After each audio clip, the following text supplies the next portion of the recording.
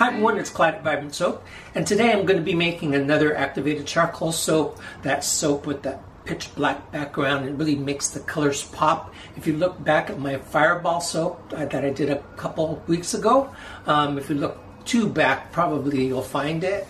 Um, you'll see that I really love this um, look of those colors really popping in this background. So I wanted to make another one, and not only that, but my contractor guy who actually happens to be one of my best customers, but almost a whole batch. So I got to make some more for the website, but I'm going to treat it a little bit differently. I'm going to put both soaps up here right now, and maybe you could tell me which one you prefer. Um, I'm kind of torn between these two styles, but I think I'm kind of leaning toward one. I want to see if what my uh, take is, um, if it matches yours. So let's get started with this right now, and um, hope you like it. Okay, let's get things going here. Maybe I'll just speed up through this part. You've seen me do this often, and if you're not sure what I'm doing right now, you can look back at almost any of my other videos.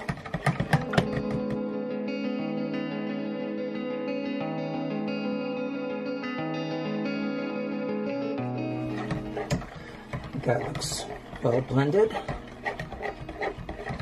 And I'm soaping at about 74 degrees today think we're ready for the lye solution. I'll speed you up through this part too. You've seen me do this lots of times. I've made over 400 videos. Can't believe it. So let me blend this up and we'll work with the colors.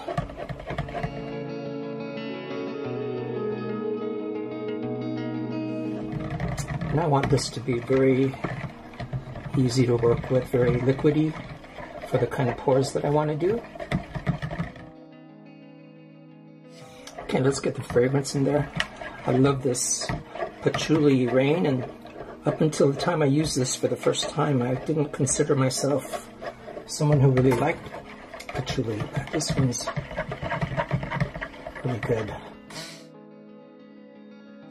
Okay, so that is emulsified. So let me get my colors in there.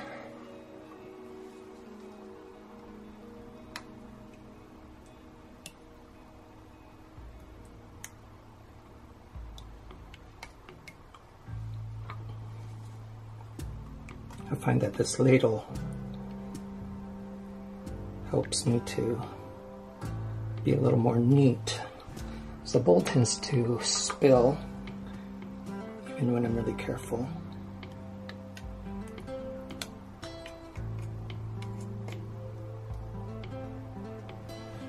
I still find a way to make a mess, but maybe I'm not having as much fun if I'm not making a big mess. Except for when cleanup time starts.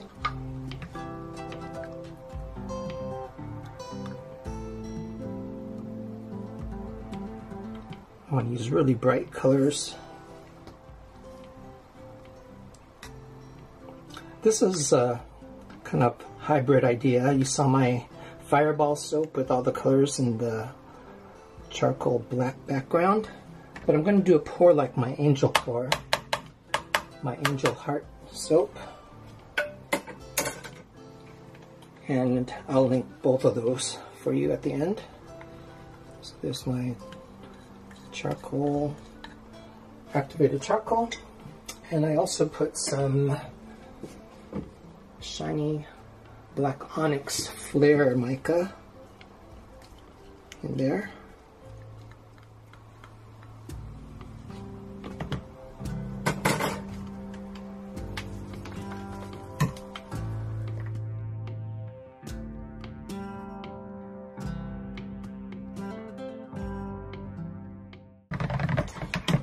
Like it a little more black. It's kind of gray in this light. Don't like to add it just as a powder, but it's hard to gauge how much I'll need.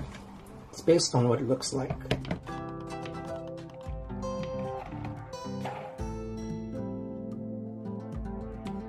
I shouldn't have to use my blender anymore because of the rest of the colors I'm going to stir by hand. When I got that powder in there, got a lot of bubbles in there too.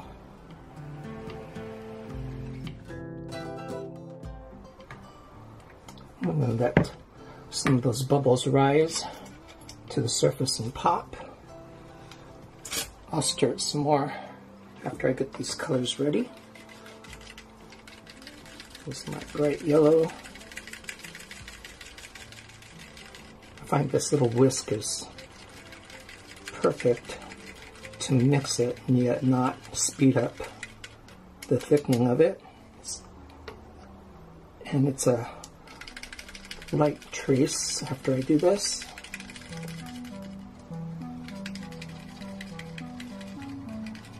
This Queen of Hearts deep pink mica from Nurture Soap. I find this is the perfect red for this. I got a deeper red. It just doesn't pop as much in the black. And I wanted a lighter version of purple. So that's what this is.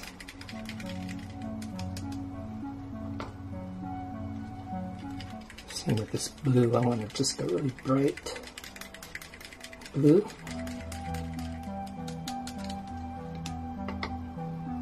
And old dependable green vibrance.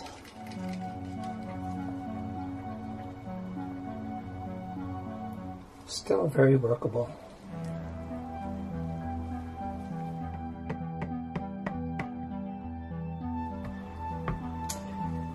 And I am going to experiment again today. I'm going to start with my lightest color. What I'm going to do is pour all my colors in a line right on top of each other. I'm going to get more of a prismatic effect. Starting with the yellow. I'm going to keep a little bit of each color for the top. So here's where I'm going to pour from.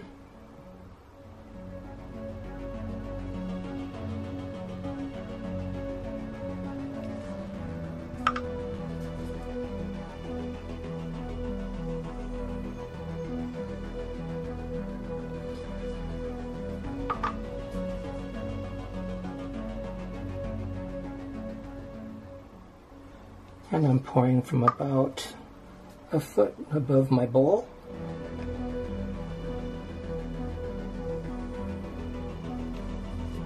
I think I've learned to pour higher and higher as I go along. It helps push everything down. And then as I get close to all the mica I'm going to pour, mica colors, uh, I get a little closer to the surface, so I get some at the surface as well. Go. So let's pour this. And let's see, that's the best lighting. I'm going to pour only in the middle of my mold.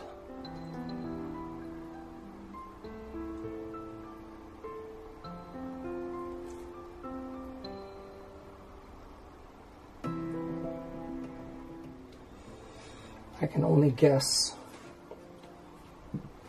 how that color is going to disperse in the, in the loaf, but I can't wait to see what that'll look like. Looks like a that oil slick rainbow in this pot. Wow, that color right there is great. Really looks like the oil slick. Let's try to get a nice swirl out of that.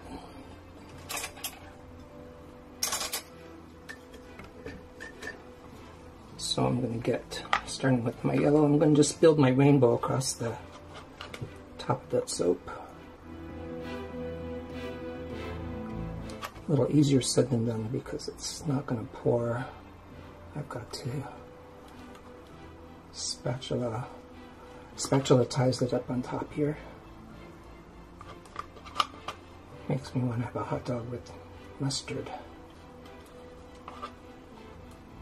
But it's not going to look like mustard yellow after the soap cures and turn into a nice yellow. Just wipe down my spatula, use the same one so I don't have to wash a lot of them.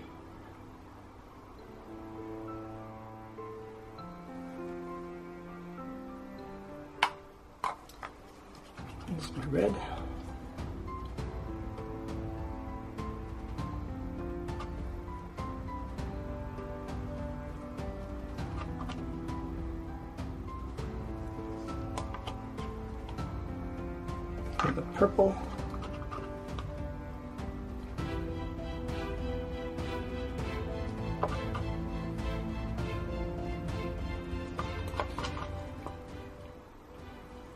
As you soap, you're going to start to trust your your ability to eyeball amounts, but you're still sort of like um, you get pretty impressed with yourself. I find that even with uh, using the scale is um, when you're pouring oils to measure the weight of your oils. Um, I find often I just stop right when it hits the right amount. I don't think I was able to do that when I just started. Also helps if you were a cook or a baker in particular. You get to know how to approximate amounts, but definitely when you're making soap, you want to use your scale. Looks like we're good here.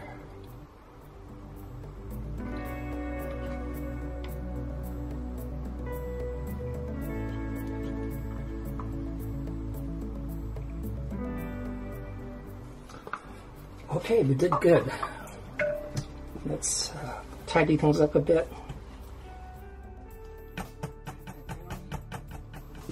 This is the point where I'm happy that I got everything in there and the way I want it. So what do I want to do here? I like it as it is, but it's not very neat right now. So I think I'm going to just zigzag each color so it maintains its rainbow effect. If that doesn't work out, I can still do something else.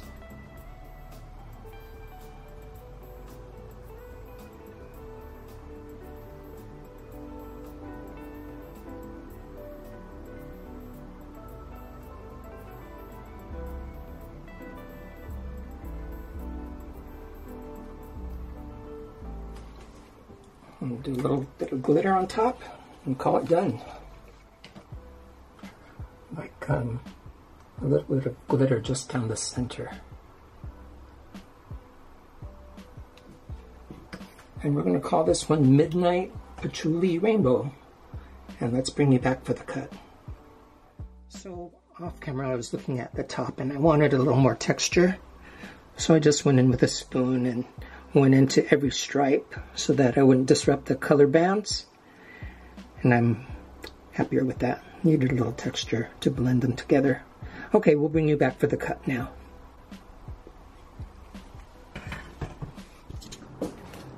Okay, let's cut this. I want you to see the side of the loaf first. And I can't wait to see what's inside. Let's cut off a little end piece first.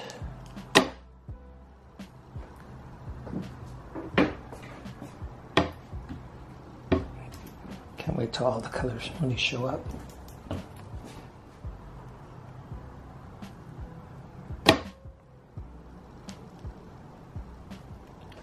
Sort of prismatic on the side there. That's what I'm really going for, but I'm hoping as I get closer to the center that I get more of that.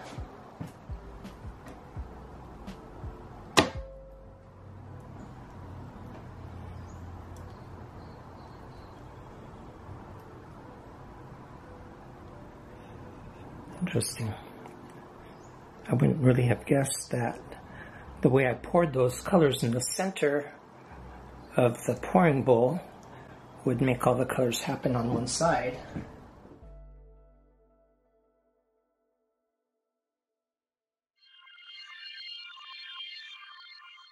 So it wasn't that I poured the colors in a line right in the middle of my pouring bowl. It was that when I poured the soap into the mold, the color really poured into one side of the mold. So next time I'll know to kind of put that right down in the dead center part of the mold when I pour, and I'll get more of that rainbow effect in the center of the soap. This is why we experiment.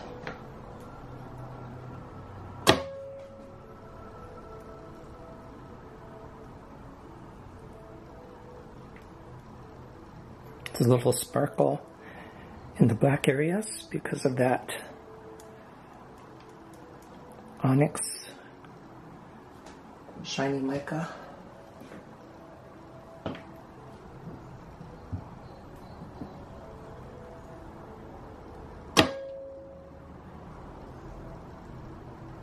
Ooh, I see what's coming up next. That's pretty cool.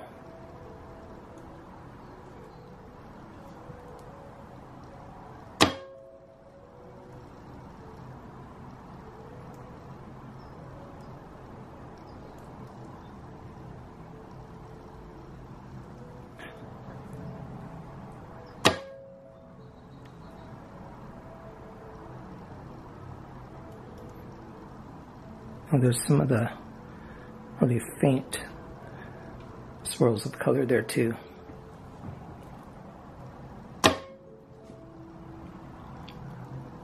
Next time I try this, this actually gives me an idea, which is what uh, experimenting does, is what I think I'll do is I'll do a in the pot swirl with some of those colors first, and then do something like this so that I get more of those faint swirls as well.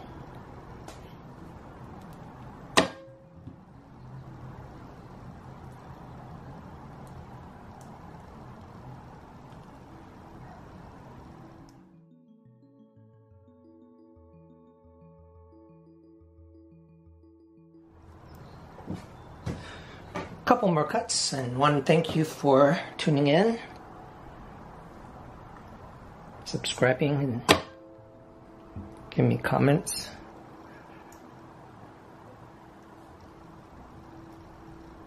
It's been fun sharing this with you guys.